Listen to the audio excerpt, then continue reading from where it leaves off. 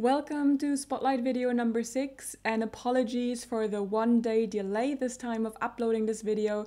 There's a lot going on in the technical committee and the organization of this league. This is why there is this one day delay. So without further ado, let's just dive right into the news.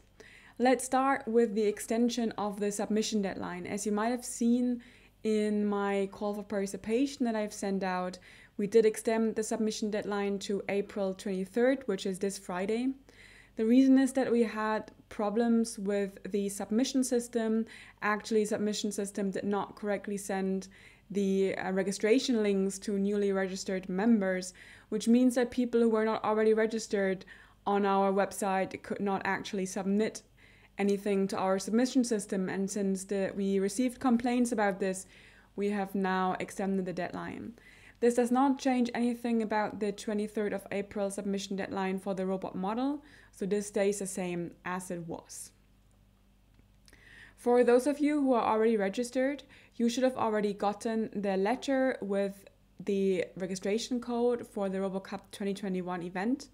In case this is you this is not the case and you have not received this letter, please let me know so I can resend this letter to you. And it should be the team leader who has received the letter. As I just said, the deadline for the robot model submissions is coming up.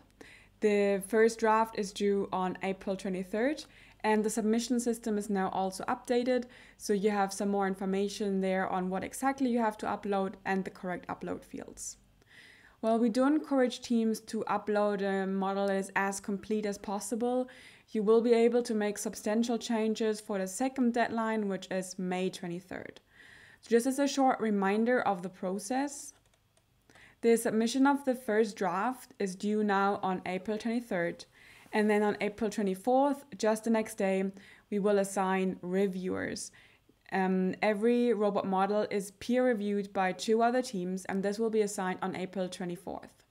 And then the peer reviewers have time until May 3rd, which is what we currently planned, to review the other robot models. You will find the review form in the submission system, which also tells you exactly what you have to review and pay attention to. And then we currently plan to send feedback back to the teams on their robot models by May 7th. And then on May 23rd, it's the deadline for the second version of the robot model. And this now needs to also include a simple robot controller, which will be used for benchmarking tests because your robot model cannot slow down the um, calculations of the simulation in the physics. So if your robot model is too complex, then you might get another request for revision. And also you need to submit a robot video or video of your robot standing up if you want to compete in the virtual kid size league.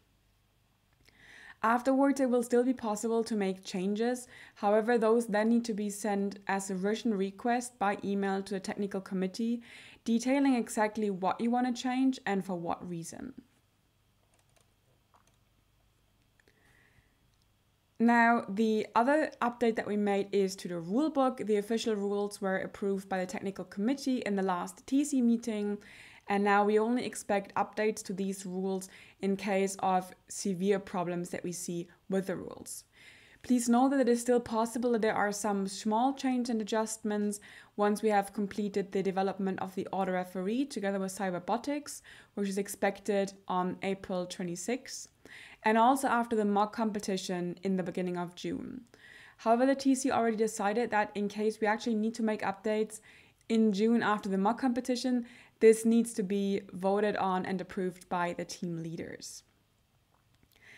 Cyberbotics has also now released the first version of their automated refereeing software, and um, you are you you're welcome to use this. You're welcome to test this out.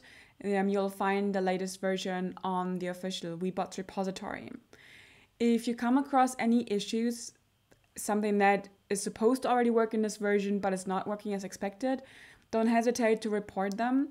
Don't report them in the official WeBots repository, but report them in the fork that we created on the technical committee GitHub.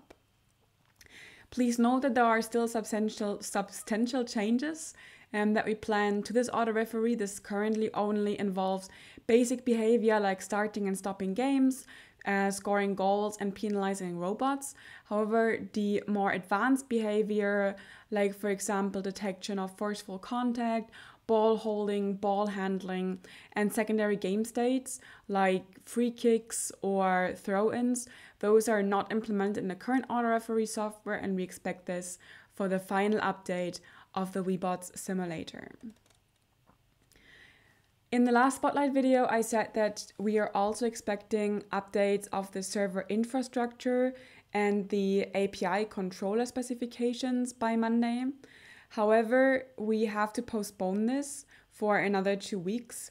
The reason is that during the development of the auto referee, we realized that some of the computations we have to make in the auto referee may actually be more complex than we expected, which could slow down further the real time factor of the simulation.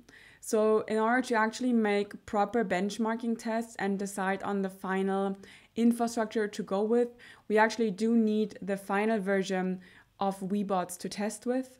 And this is why we have postponed updates on those two documents until May 3rd. This is what we currently now have as a planned date to release updates on those two documents. I would also like to thank all teams that contributed to the promo video. It is, was really cool to see that so many teams actually came together to do this and how many teams are currently already working on this competition physically in the lab, some of you are virtually. And I will let you know once the official video has been released by the Federation. This was all I had for this week, so let's take a look at upcoming developments in the coming days. As I already said, on April 23rd, the teams need to submit their first version of the robot models. Just again, this is mandatory for you if you do want to compete with your own robot model. This does not have to be complete, but if you are aiming to compete with your own robot model, you have to upload a version of this robot model by April 23rd. The peer reviewing phase then starts on April 24th and is currently planned to be completed by May 3rd. And then on May 3rd, we also plan to release the final API specifications and the second update to the server infrastructure requirements. And then, according to the current plan, on May 7th, we plan to send feedback for your first version of the robot models to um, you for making updates and changes as requested by the reviewers and as requested by the technical committee. If you have any questions, don't hesitate to reach out to us on Discord or on the forum. And otherwise, we'll send you um, this and other news in the newsletter on Thursday. And I'll see you again in the next spotlight next Monday.